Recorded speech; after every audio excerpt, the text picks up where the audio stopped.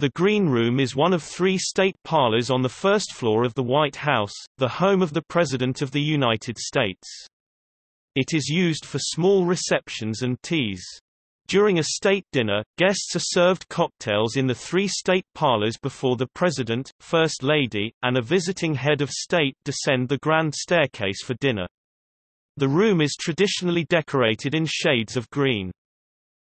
The room is approximately 28 by 22.5 feet 8.5 by 6.9 meters.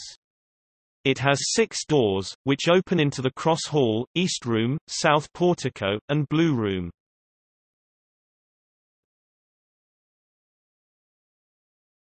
Topic: History.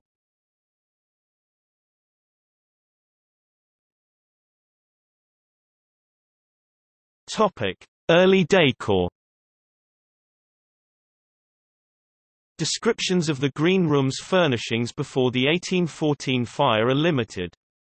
Following the 1816 rebuilding, inventories suggest the room initially contained French Empire items bought by President James Madison. Throughout most of the 19th century, the room was decorated in a series of revival styles. Topic 1902 Roosevelt renovation In 1902, President Theodore Roosevelt selected the architectural firm of McKim, Mead and White to make extensive structural changes to the White House and redecorate most of its rooms. For the Green Room, the firm decided to mimic an 1820s-style parlor or drawing room in the French Empire style. An 1817 fireplace mantel was removed from the state dining room and used in the green room, displacing its original mantel. The door moldings, which dated from the James Monroe administration, were retained.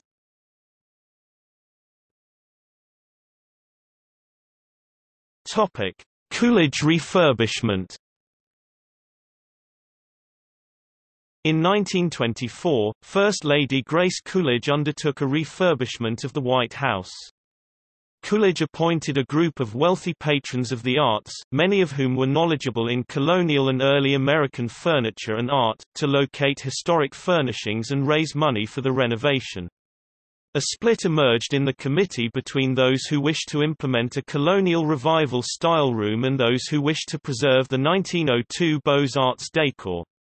The dispute became public, and President Calvin Coolidge ordered the renovation stopped. Work resumed with a different committee in 1926, and the room redecorated in colonial revival and federal furniture. Coolidge replaced the heavily patterned floral wall covering with a simple green silk velvet. The Renaissance Revival style mantel likely installed in 1852 was replaced by a French Empire mantel purchased by President Monroe in 1819. Although the some period antiques were found and placed in the room, most of the furniture were reproductions. A suite of reproduction French directoire upholstered chairs and white-painted caned reproduction English Regency furniture replaced a suite of overstuffed Turkish-style sofas and chairs. Over the next 37 years, subsequent presidents mostly maintained the Green Room as Coolidge left it, with only minor alterations. One significant change was made after the White House was gutted and renovated under President Harry S. Truman in 1952. When the Green Room was decorated after the renovation, the walls were covered in a green silk damask in the style of Robert Adam manufactured by American fabrics firm Scalamandre. The window treatments and drapes used the same fabric, with the window treatments covering the window moldings.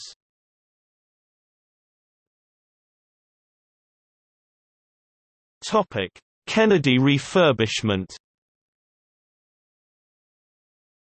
In 1961, First Lady Jacqueline Kennedy began a major refurbishment of the White House that included the Green Room.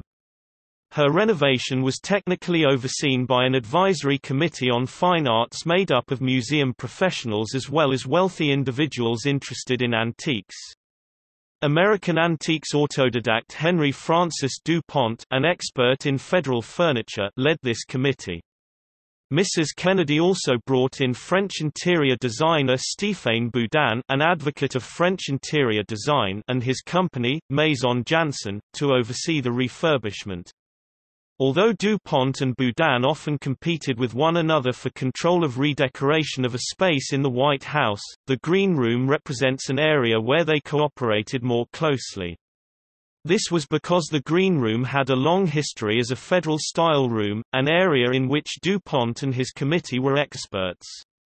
The Green Room was the first room in the White House to be redesigned almost completely with the input of the committee. DuPont and Boudin did disagree over the wall covering.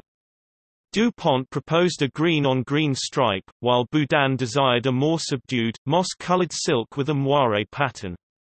Jacqueline Kennedy chose Boudin's fabric in spring 1962. After the Scalamandre Fabric Company proved unable to reproduce the moire silk with the quality desired by Kennedy, the French firm of Tassinari et Châtel was chosen to manufacture the fabric. The window treatments were another area of disagreement between DuPont and Boudin. DuPont wanted the window treatments inside the window frame, to expose the moldings. Boudin felt this made the room appear too tall. After the two discussed the issue in early 1961, DuPont's view won out. But in late 1962, Boudin removed these window treatments and implemented one he had used many times before in many different homes, straight panels to hide the side moldings, with a Baroque revival flat panel to cover the top molding and rods. The fabric used was the same Boudin had selected for the wall covering, but trimmed with a French-made decorative silver tape. Several significant pieces of antique furniture were acquired and placed in the room by DuPont. Among these were card tables, Martha Washington, Chairs, a secretary by Baltimore furniture maker Joseph Burgess, side chairs, a sofa formerly owned by Daniel Webster, settees from Massachusetts, urn stands, and work tables. Many items of furniture were reupholstered in white. DuPont chose a white cotton with delicate embroidered vines in green and gold for the Massachusetts settees, and an ivory silk with multicolored flowers for the Webster sofa.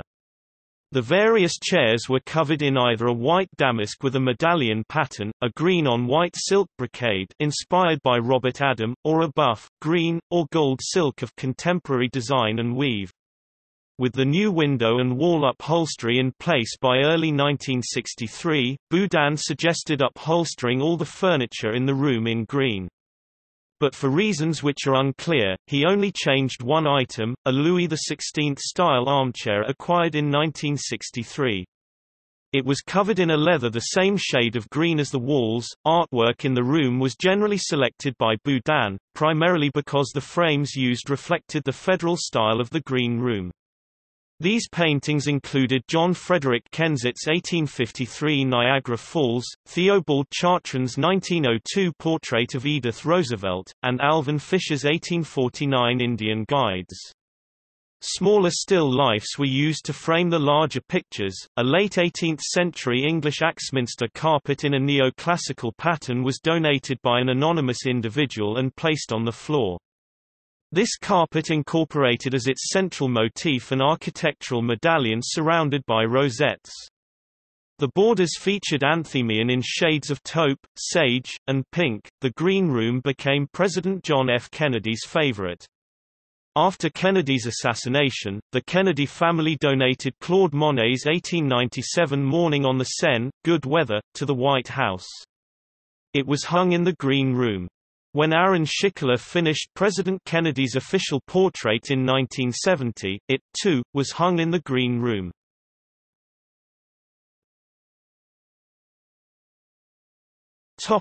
Nixon refurbishment Many changes occurred during the Nixon administration under the direction of First Lady Pat Nixon.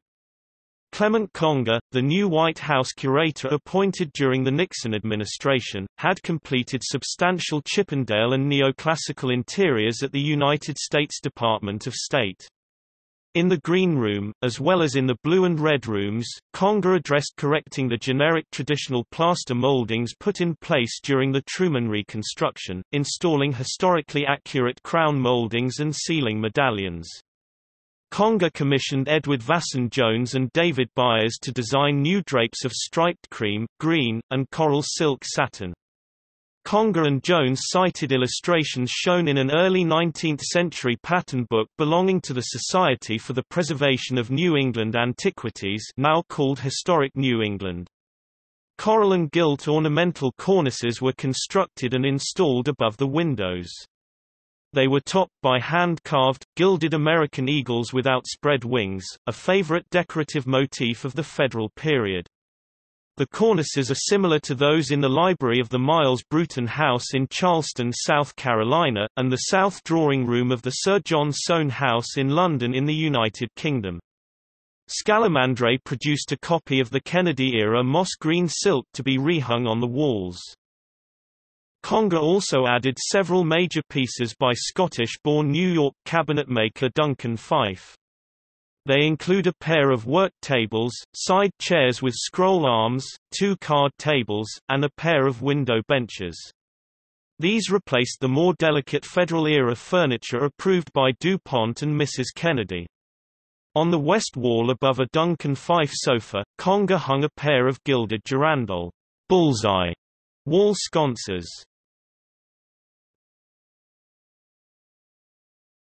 Topic: Laura Bush refurbishment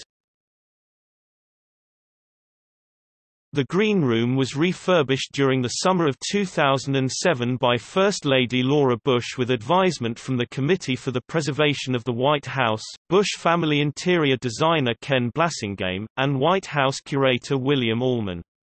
The refurbishment retained most of the Nixon-era Conger and Jones design. Walls were again hung in silk, but this time in a more vertical and largely scaled moire pattern and a darker shade. The coral color in the upholstered chairs and in the striped drapery fabric was intensified to a more vibrant shade bordering on vermilion.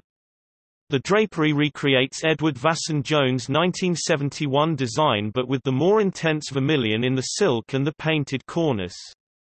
The drapery design was simplified by removing four large tassels but retained the large bobble fringe of the Nixon-era design. The green Turkish kilim carpet installed in the Nixon administration was replaced by a new rug woven in the Savonnerie style of France. It is somewhat similar in design to an antique Savonnerie acquired for the Red Room by Stéphane Boudin. As a part of the refurbishment the painting The Builders by Jacob Lawrence was acquired by the White House Acquisition Trust. The Builders and Sand Dunes at Sunset, Atlantic City by Henry Ossawa Tanner were at that time the only two paintings by African American artists in the White House permanent collection.